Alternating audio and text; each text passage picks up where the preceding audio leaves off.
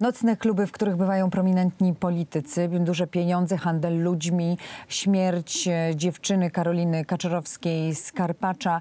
E, To tylko niektóre wątki, które wyszły przy okazji sprawy śmierci Magdaleny Żuk. E, Ze mną w studio gość pani Magdalena Groń, witam serdecznie, dobry, która mi miło. przypatruje się tej sprawie. Pani była we Wrocławiu, rozmawiała również ze znajomymi Magdaleny Żuk. Proszę powiedzieć, jakie są pani odczucia lub e, no, można powiedzieć dowody, jakie pani zebrała w sprawie tej śmierci? Czy w sprawie śmierci e, pani Magdaleny Żuk e, jest bardzo wiele wątpliwości i ciężko jest tak naprawdę powiedzieć coś, co już nie zostało powiedziane, nie zostało napisane, nie zostało zauważone przez internautów. Na pewno prokuratura w tej chwili skupi się na kilku wątkach. Jednym z nich jest brany e, wbrew e, wszelkim opiniom również nieszczęśliwy splot okoliczności. Tak? E, Brany jest pod uwagę również handel ludźmi i międzynarodowa grupa przestępcza. To jest to, o czym w tej chwili cały czas się mówi, że być może e, będą musieli śledczy teraz sprawdzić, czy Magdalena Żuk na pewno jechała e, na wycieczkę, czy miała tam na miejscu jakieś inne plany. E, Na pewno jest e, brany pod uwagę także e, wątek e, dotyczący e, handlu narkotykami. e, Handlu ludźmi. Handlu ludźmi, tak właśnie. E, No i kwestia jest teraz tego, że tak, po pierwsze prokuratura jak już ustali, e, z jakiego powodu e, Magdalena Żuk naprawdę pojechała do Egiptu, czy jest w tym drugie dno, czy nie ma, to będzie musiała sprawdzić, z jakiego powodu znalazła się e, w takim stanie, w jakim się znalazła. Bo teraz tak, czy możemy liczyć na wyniki toksykologii? Moim zdaniem nie, nie ma w ogóle takiej szansy, żeby ta toksykologia coś wykazała. Przede wszystkim z tego powodu, że w tej chwili w każdym praktycznie sklepie możemy kupić, e, każdy może kupić środki, które w połączeniu z alkoholem e, powodują e, mniej więcej podobne skutki do mm, pigułki gwałtu tak zwanej, tak? Które to, jest, to jest, są jeszcze środki, które z wiadomych przyczyn nie będę wymieniać, o które chodzi, bo każdy może Tak. je kupić i potem y, próbować w domu.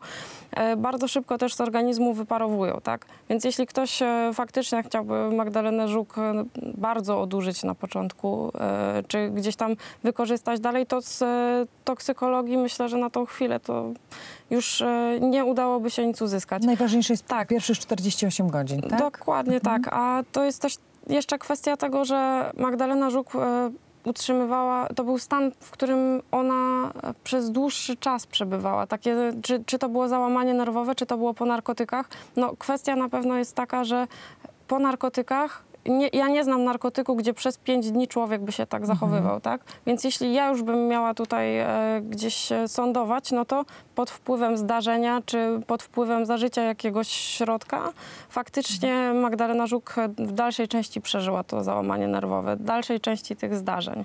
A czy wiadomo, jakie są wyniki sekcji zwłok? Znaczy, e, przede wszystkim to sekcja będzie powtórzona w Polsce, e, Wrocławiu, we Wrocławiu. Nie ma takiej możliwości chyba, żeby nie była powtórzona, no bo e, czy w sekcja w Egipcie, no przede wszystkim pojawiały się informacje, że Magdalena Żuk e, nie została wykorzystana seksualnie. E, że nie ma większych e, obrażeń na ciele, tak? Czyli nie wynika z tego, że ona się szarpała na przykład. Tak. To dla mnie już jest troszeczkę bez sensu z tego powodu, że na tych e, filmach e, z monitoringu e, widzimy, że Magdalena Żuk e, na korytarzu e, gdzieś e, ci mężczyźni ją zaczepiają, tak, zahaczają, czy ściskają jej ręce. No i w momencie, kiedy jest wykonana sekcja, to przecież takie rzeczy też e, powinny zostać zauważone. No to w jaki sposób my teraz mamy odróżnić, czy Magdalena Żuk faktycznie gdzieś tam szarpiąc się na korytarzu e, w szpitalu czy w hotelu doznała obrażeń, czy ona doznała obrażeń na przykład wcześniej, tak? Znaczy, generalnie prokuratura z tych wstępnych wyników sekcji wynika faktycznie, że pani Magdalena Żuk e, wskutek uderzenia z dużej wysokości odniosła obrażenia Śmiertelne. śmiertelne, tak właśnie.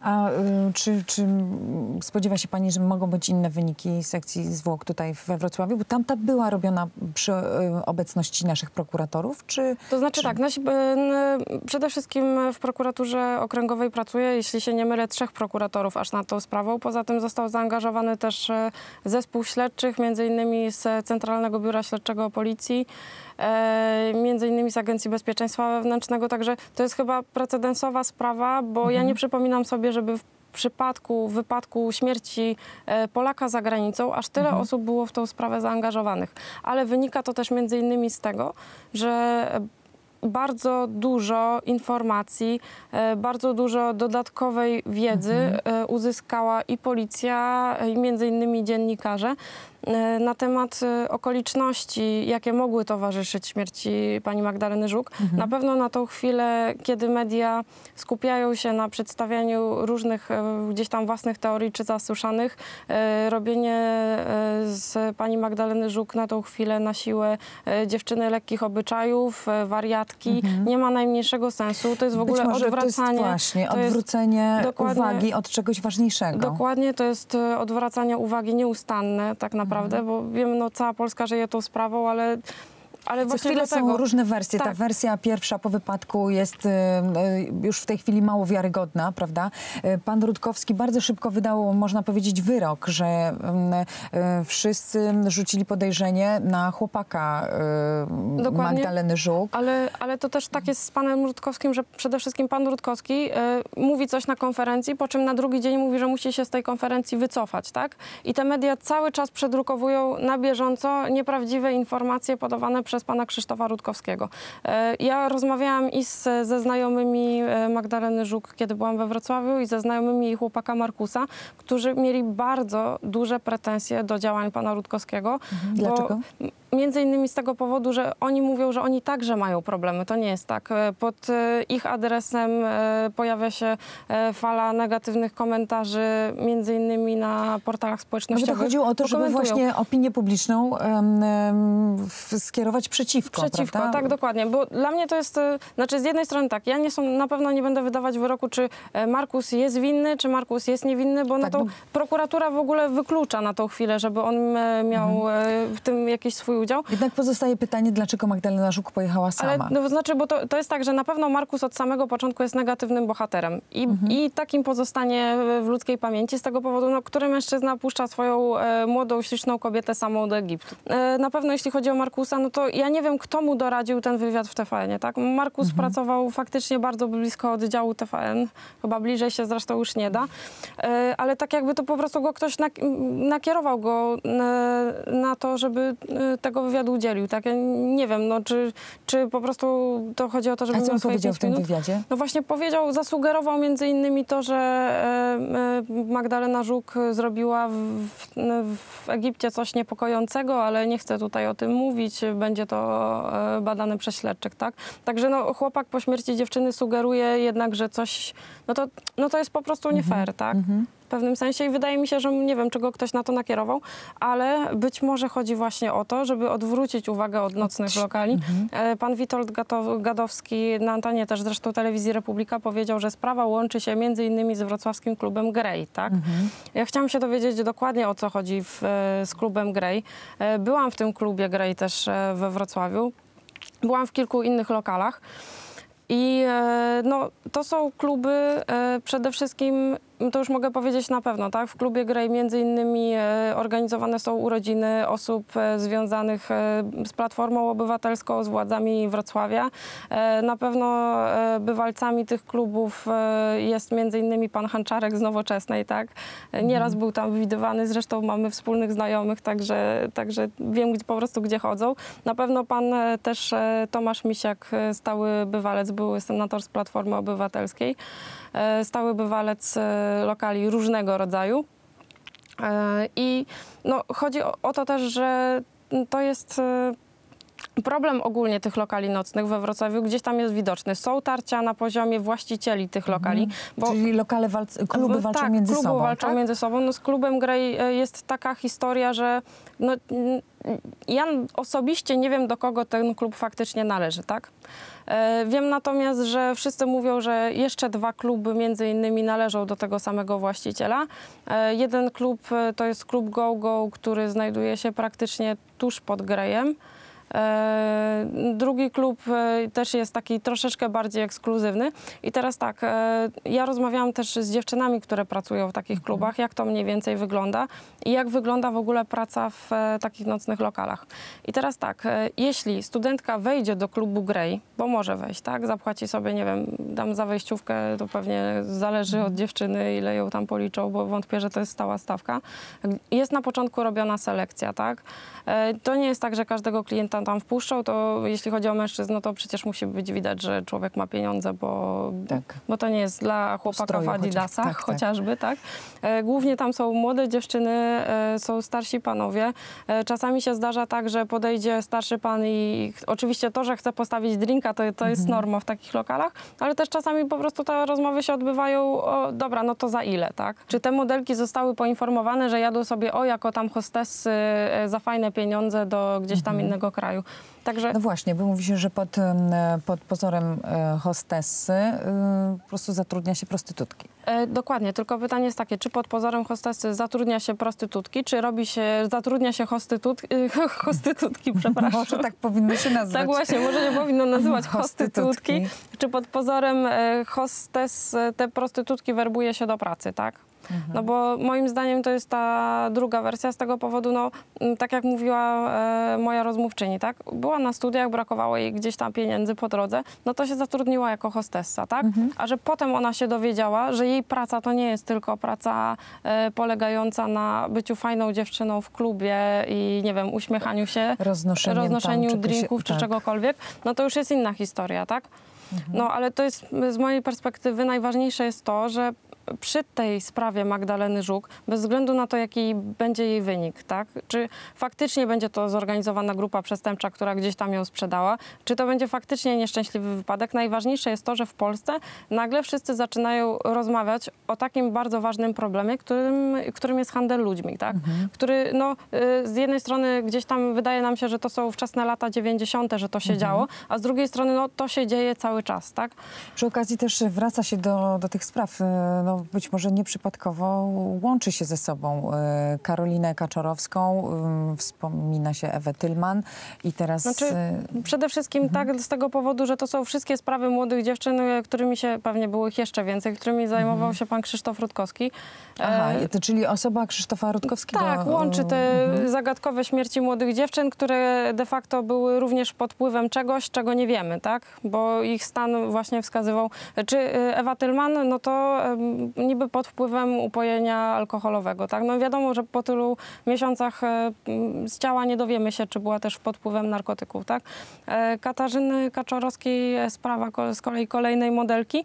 No tutaj pojawiały się zeznania świadków, że tuż przed tym, jak rzekomo popełniła samobójstwo, e, wychodziła z psem na spacer i również była pod wpływem czegoś, zachowała się, zachowywała się dziwnie i podobno było to również zachowanie przypominające e, Magdaleny Żuk. Tak. Ale też e, pojawiają się te same nazwiska e, przy e, Karolinie Kaczorowskiej i przy Magdalenie Żuk.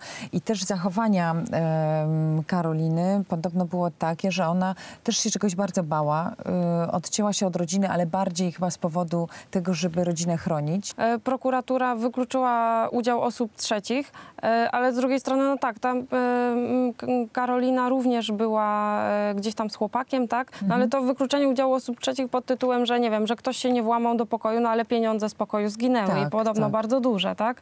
E, Czy to jest dobry moment na to, żeby wszcząć tą sprawę? No chyba jest najlepszy i e, wydaje mi się, że to też e, e, podjęcie tej sprawy od nowa wynika między innymi z e, relacji internautów, tak? To internauci gdzieś tam zauważyli, czy Mhm. Wymuszają koledzy, rzeczy. Wymuszają i Mhm. bardzo dobrze, e, bez względu na to, czy część tych informacji jest prawdziwa, czy fałszywa, bardzo dobrze, że te wszystkie rzeczy są weryfikowane.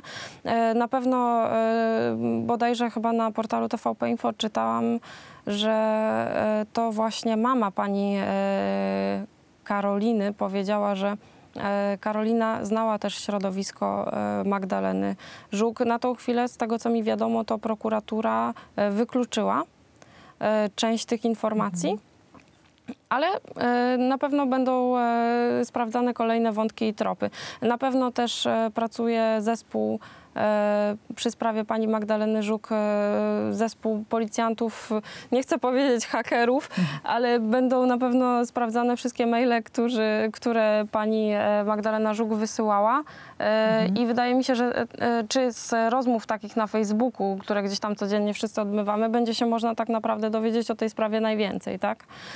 Czy Magdalena Żuk była lubiana przez e, koleżanki? No bo pani Znaczy, rozmawiała z Ja, rozma- dziewczynami, ja, które... ja rozmawiałam z, i z koleżankami Magdy Żuk i z kolegami Markusa. I, Mhm. Znaczy z kolegami, z koleżankami Markusa też. Nie mówię o tym, e, o tym takim szemranym środowisku, tylko Mhm. mówię o takich prawdziwych znajomych gdzieś tam z pracy, e, gdzieś tam z, ewentualnie z tych e, szkół e, ich. Także to, to oni mają bardzo dobre opinie, oboje. Dlatego Mhm. dla mnie to był na początku szok, bo w momencie, kiedy ja widziałam przekazy medialne, to też mi już nie pasowało tutaj, ten Markus pewnie ją sprzedał, Mhm. tak? Ale e, jakby nie... nie, nie Czy koledzy, którzy są blisko... blisko, czy, to- czy nawet którzy tak. Mhm. są dalej tak naprawdę, oni w ogóle, w, e, oni e, nie, nie dopytywałam i też nie rozmawialiśmy na temat e, tej relacji, która była pomiędzy Magdaleną Żuk e, a Markusem, bo tutaj też pojawiają się różne historie, tak? Tym bardziej, że oni gdzieś tam mieli na Facebooku ustawiono chyba status związku tak zwany, że nie wiem, od lutego się znają, tak?